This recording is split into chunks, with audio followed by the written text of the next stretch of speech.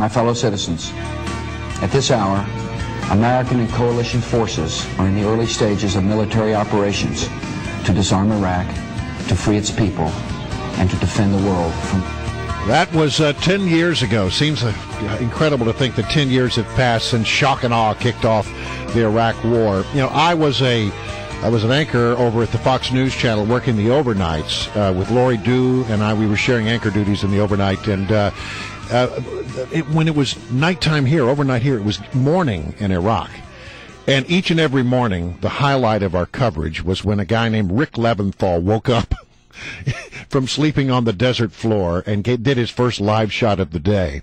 He was embedded with the 1st Division 3rd Light Armored Reconnaissance Battalion, and he was there on the ground reporting live in this made for TV war. He joins us now on the phone line. Rick, how are you, my friend? Good morning. It feels like uh, 10 years ago today, uh, waking up and talking to you, Brian. getting up early and making you getting up early. Well, I appreciate it. I, but I, I, I always smiled because we literally would see you, you would just like roll out of your sleeping bag, and then like a minute later, without coffee, without anything, we were making you talk on live TV. But what an experience it must have been to be on the ground and witness that. Tell us what it was like. Well, it was the most exhausting and physically demanding and challenging assignment I've had in my 25 year reporting career. I mean, it was it was ridiculous at times. Uh, it was also exhilarating and so amazing for us to be with the men who were doing the fighting. When they told us about the embed program, I volunteered right away but I never really believed what they told us that we that we would be with the troops doing the fighting, that we'd be right up, you know, front, living with them and seeing what they saw. You know, it's just hard to to wrap your head around that you'll be in more. But when we got there, it, it, that was just the case. We were in the back of a light armored vehicle, an LAV 25, with the Marines from the 3rd LAR. We rode the border with them for 60 hours, patrolling back and forth. And then when the war started, we rode, rode right into Baghdad with them and their unit. And were there when they started firing. We would be sitting right in the back of the vehicle as the chain gun opened up or the machine guns opened up, and we saw the results of what they shot. And there was no minders. You know, there was no one to tell us don't shoot that or don't report that. We just sort of had to go by the rules of of the embed and and do our jobs. And uh, Rick Leventhal, uh, thank you so much for joining us. It's it's really uh, only you can bring this insight. And I wonder, after that experience, after being embedded for what what was it, nine weeks with the Marines as they charged up from Kuwait up to Baghdad, uh, and then uh, took occupation of Baghdad, did did you end up having a different opinion and feeling of about our military after going through that experience? And what was it? Well, I gained tremendous respect. I had already had respect for the military, but being with them and seeing how they operated from from the top down was uh, just a, a, a, a humbling experience. Uh, they were selfless.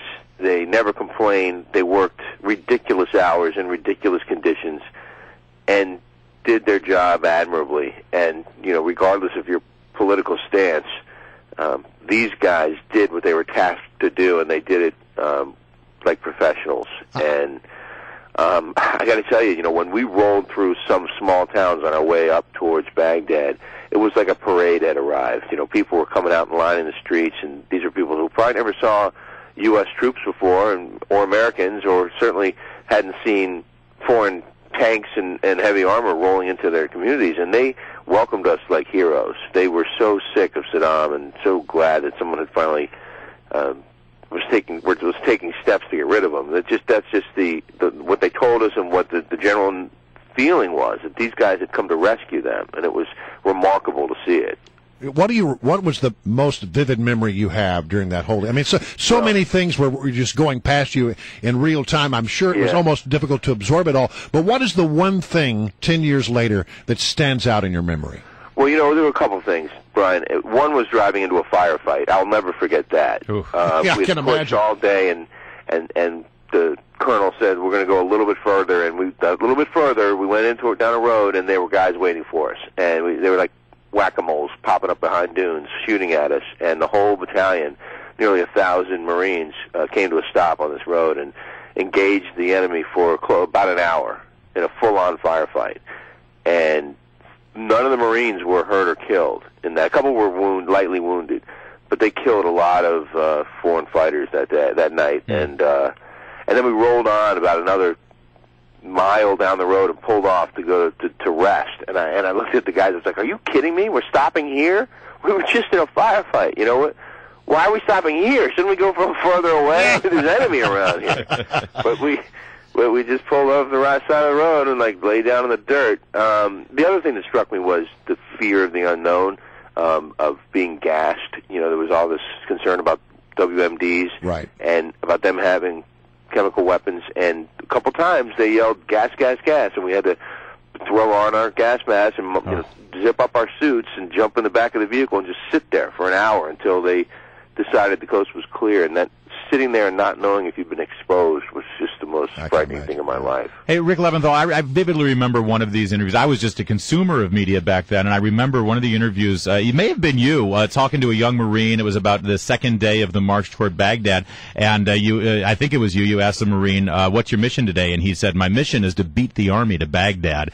What, what, what was that? Was there a lot of talk about this friendly rivalry? Because you had the two columns; they were both sort of chasing each other up to Baghdad. Yeah, I mean that was the goal, obviously, and I and I had a side bet with Greg Kelly, who was another reporter for Right. Fox. He was with the Third ID, U.S. Army, about who would get there first. you know, it's kind of a that was kind of the goal, and in fact, the Marines I was with weren't going to Baghdad, and we kept pushing them to do it. And you know, of course, they're not going to listen to us. But at some at some point, we switched units we, because they were headed um, further north to Tikrit, and we just switched off to the uh, 223 Infantry Reservists, and they went into Baghdad. But Greg Kelly won. Third ID got there first. The Army rolled in first, and uh, U.S. Marines were were right behind. Yeah. Uh, do, do you think that as, as people talk about this 10 years later, they're saying, was it worth it? Do you have an opinion about that? Um, do I have an opinion about it? Yeah. Well, you know, it, it's it's been so difficult and costly, and you know the reasons that they used for going in in the first place don't seem to have panned out, and it just it it doesn't seem like it was worth it. But you know, I don't know if ten years is too soon to make those kinds Yeah, of might be judgments right. because of the the way the world works, and you know, would would we have said that it was worth it ten years after World War II? Maybe, probably, but you know there are there's a lot of things that are happening in the Middle East that, that might not have happened if we hadn't gone in, and we don't know what would have happened if we didn't. If Saddam remained in power, if his sons remained in power, and and they took over for their dad, and who knows what was Yeah. coming down the road from those guys. I Well, mean, I- they I- were I- public enemies number one before we went in.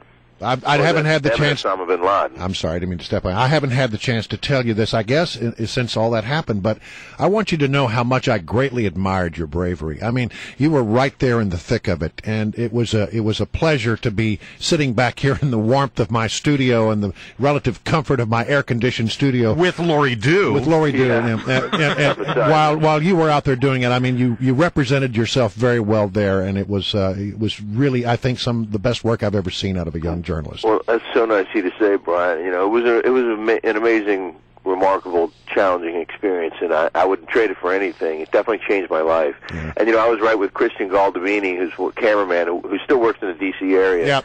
And uh, and he and I would look at each other sometimes in the back of the vehicle and just shake our heads and say, "What are Can we you doing?" can, can you believe we're doing this? How That's did right. we wind up here Yeah. in this crazy place Yeah. In the middle of a war? I bet was some of those Marines were thinking that too. But That's boy, right. they did their job just as well as you Uh, did. well, thank you, Rick. It's good to good to hear your voice, and, and thank you so much for joining us this morning. Oh, thanks for having me. Thanks, on. Rick.